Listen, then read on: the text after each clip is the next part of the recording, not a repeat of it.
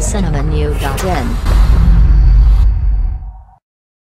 பெங்களூர் சென்னை டெல்லி போன்ற புறநகர் பகுதியில் தங்கி படிக்கும் மாணவியின் எண்ணிக்கை அதிகரித்து வருகிறது. இந்நிலையில் விடுதியில் போதுமான பாதுகாப்பு வசதிகள் இருப்பது கிடையாது. அப்படிதான் டெல்லியில் நடுத்தர வர்த்தகத்தினர் தங்கக்கூடிய ஒரு விடுதி உள்ளது. இந்த விடுதியின் உரிமையாளர் தனது உறவினர் ஒருவரை செக்யூரிட்டியாக நியமித்திருந்தார். அவருக்கு வயது முப்பத்தைந்து இருக்கும்.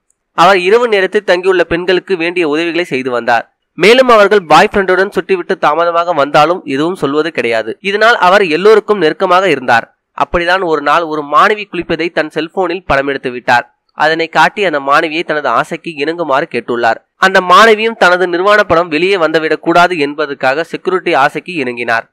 அடுத்து ஒரே வாரத்தில் அந்த மாணவி விடுதியை காலி செய்துவிட்டு சென்று விட்டார் இதே டெக்னிக்கை பயன்படுத்தி அந்த செக்யூரிட்டி பல பெண்களை மிரட்டி பலாத்காரம் செய்து வந்துள்ளார். மேலும் அந்த விடுதியில் உள்ள பெரும்பாலான பெண்கள் விடுதியை காலி செய்து தொடங்கிவிட்டனர்.